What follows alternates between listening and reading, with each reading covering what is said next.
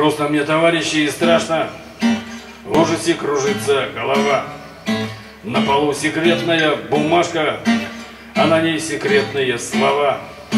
Это раздолбай какой-то страшный, не хранит заветы октября. Написал секретную бумажку, а потом вот взял и потерял.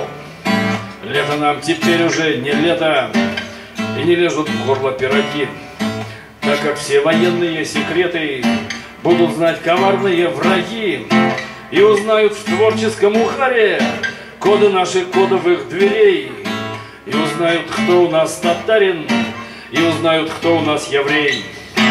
И другие штуки все и штучки, как КамАЗ, к примеру, заводить. И размер секретчика получки, и размер жены его в груди. Пьют ли спирт, который льют в ракету, и где в Волге водятся самы. Ну и как зовется баба это, то, что называют мать Кузьмы. Сколько у Аки, ака маленькая машина такая, сколько у Аки сухая масса, и чем нашу совесть пробудить. В общем, все узнают папуасы и начнут немедленно вредить.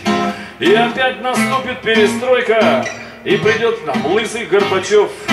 И опять мы полетим в помойку, хлопая в ладоши горячо.